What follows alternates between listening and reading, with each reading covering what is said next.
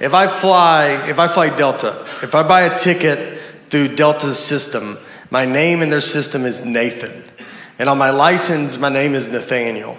I do not remember making this decision. It's a big deal. They can't just change it. I've tried. I've asked Delta if they could change it, and they're like, we can't change it. And you're like, then I don't know. I don't know where we go from here, you know?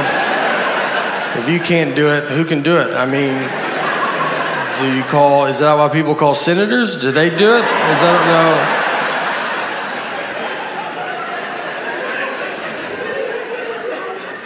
no. What you have to do, you have to mail your birth certificate in.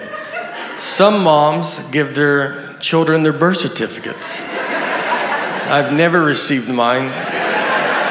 I thought I was the proof of my birth.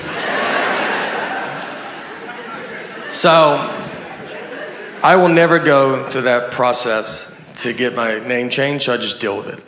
And it gets brought up. Once I was checking a bag, and the guy by the counter, he sees my ticket says Nathan, the license says Nathaniel, and he was like, this is not good.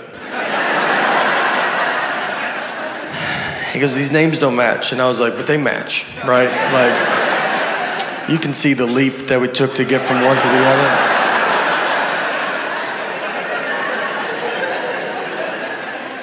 And he was like, but they're not the same. I was like, but they're the same. And I'm realizing he cannot find out people call me Nate at that point because, I mean, he can't handle that. He's gonna call the police over to be like, there's a guy with three names trying to fly right here.